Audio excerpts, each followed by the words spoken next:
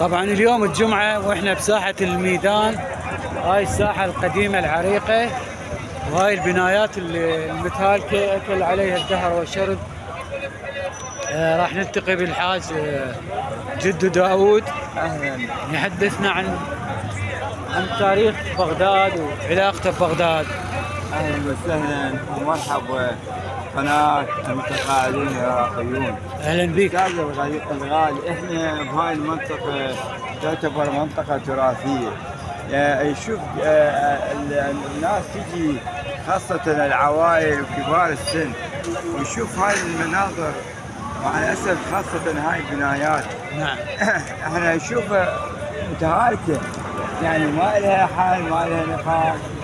يعني هاي شوفها هنا هاي هنا قهوة الدعاوي والأسطورة.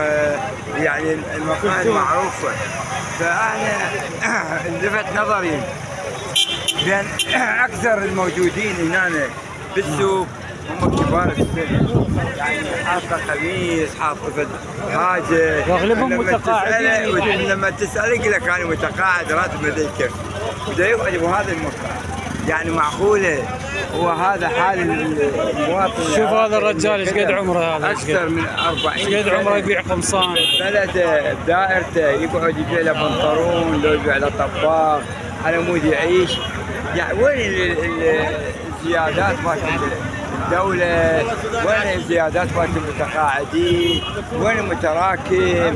يعني هل قد خليتوا الإنسان يطلع من الصبح الساعة بالخمسة من الميدان يبيع له حاجة لو بنطلون لو قميص لو يبيع له حاجة على مود يعيش. ما يصير هذا العمل ما يصير يعني هذا البلد يعني هذا واغلبها هاي حاجياتهم وحاجياتهم جايبيها من البيت. يعني يعني التعب وصلكم لهاي المرحلة.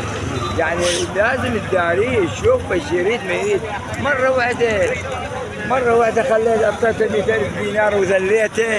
هذا متقاعد يريد هذا رجال كبير يريد. يريد باكر دواء يريد يطلع شوف مستشفيات وتعرف إحنا المستشفيات وعملياتها قد تريد وإحنا هسه بالميدان والله العظيم ما ما دا أشوف شاب. شاب قاعد ويبيع ماكو. كل الشياب عمره من 70 سنة 60 سنة أكثر 80 سنة. والله من تباوع على حالهم. تنقهر تنقهر ليش؟ لما يبيع له سلعة يبيع له قميص يبيع له طباخ.